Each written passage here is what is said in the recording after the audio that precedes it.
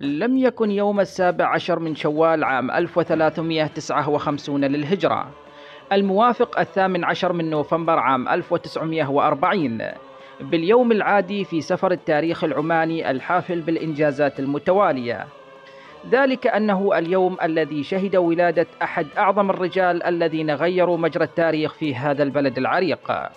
وأداروا جهة بوصلته نحو الملاحم العظام والإنجازات الكبيرة. وعبروا به محيط التحديات الصعبة. لذا فلم يمر ذلك اليوم مرور الكرام. وبالرغم صعوبة التواصل وقتها وضعف وسائل الإعلام والاتصال إلا أن المجتمع حينها تفاعل معه بفرح واتخذه البعض مناسبة يؤرخون بها بعض أحداثهم. وقيدت جدران دراويز القلاع وأسطوانات المساجد تاريخ تلك المناسبة. وكانت عديد من الخطابات المتبادلة بين أفراد المجتمع تشير لها في مناسبات عديدة. تاريخ مولد السلطان قابوس. هناك خطاب مؤرخ بتاريخ الخامس من ذي القعدة سنة 1359 للهجرة من السلطان سعيد بن تيمور إلى الحاج الزبير بن علي. يشير فيه إلى تاريخ ولادة السلطان قابوس حيث يقول والأمر كما بلغنا عن وصول بدن من المحروسة ظفار في مساء هذا اليوم قبيل مضينا لافتتاح المدرسة السعيدية.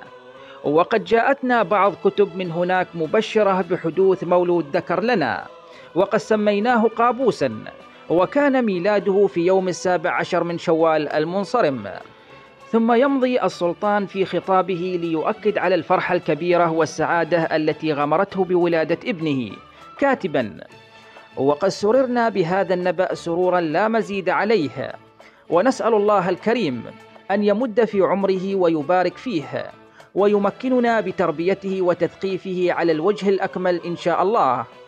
ونظرا لأهمية المناسبة فقد توالت على السلطان سعيد بن تيمور العديد من رسائل التهاني من الشيوخ وأعيان البلاد.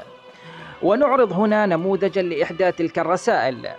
ففي رسالة مؤرخة بتاريخ السابع عشر من ربيع الآخر سنة 1360 للهجرة يرد السلطان سعيد بن تيمور على رسالة تهنئة وصلت له من الشيخ هاشل بن راشد المسكري أحد الزعماء العمانيين البارزين وقتها وهو شيخ قبلي ورجل إصلاح بارز وصحفي معروف وبالأخص كتاباته في جريدة الفلق التي كانت تصدر في زنجبار. وتصل أعدادها إلى الجزء الآسيوي من القطر العماني. وجاءت في الرسالة جناب الشيخ المحب هاشل بن راشد المسكري حرصه الله تعالى. السلام عليكم ورحمة الله وبركاته. محبك يحمد الله الكريم على نعمه السابغة وألطافه الوافرة. لا زلت في صحة وعافية. وبعد فقد تناولنا كتابك المحرر في الرابع والعشرين المحرم سنة 1360 للهجرة. ونشكرك على تهنئتك بميلاد ولدنا قابوس وعلى دعائك الصالح له. تهاني الوكلاء السياسيين البريطانيين. لم يكن حدث مهم كهذا ليمر مرور الكرام في الأوساط الإقليمية. فقد أشارت العديد من التقارير والمراسلات والمخاطبات الخاصة بالممثلين السياسيين للدول ذات المصالح في الخليج. إلى مناسبة مولد السلطان قابوس في أكثر من تقرير وخطاب.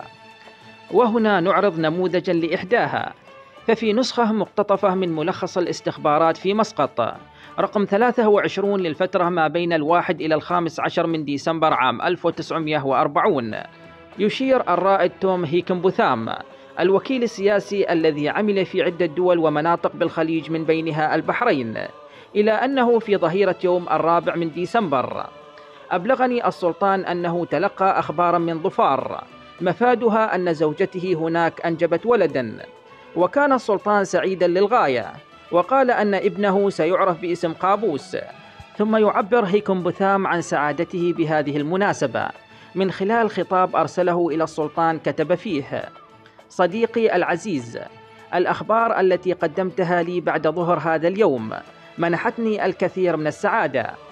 اسمح لي أن أقدم لكم خالص تهنياتي لولادة ابنكم وأدعو الله أن يحميه حتى يبرهن لك أنه يساعدك في عملك من أجل تقدم شعبك وبلدك. وتفضلوا بقبول فائق الاحترام. هيكم بثام قصة البدن الذي حمل البشارة. بحسب رواية الباحث سعيد بن خالد العمري فإن أحد خدم السلطان سعيد وصل بورقة من والي ظفار حمود بن حمد بن بريك الغافري إلى السيد علي بن سلطان البوسعيدي نائب والي مرباط يبلغه بولادة السلطان قابوس وكان السلطان سعيد وقتها في مسقط ويطلب منه نقل البشارة إلى مسقط في خشب أهل مرباط السريعة الإبحار. وذهب الخادم برسالته في بدن النوخذة مبارك بن بخيت المعلم واستغرقت الرحلة بحرا وبرا نحو عشرون يوما. علي بن ضبعان هو أحد الرجال من ظفار. وتشير الروايات إلى أنه قام بحمل رسالة البشارة بمولد السلطان قابوس برا من ظفار إلى مسقط. وبينما تذهب بعض الروايات إلى أنه أول من بشر بمولد السلطان هو سبق السفن التي تحمل البشارة. فإن هناك رواية أخرى تشير إلى أن علي بن ضبعان لما نزل من عقبة مسقط سمع ضرب المدافع من قصر العلم أي أن بدن النوخذة المعلم سبقه بالوصول.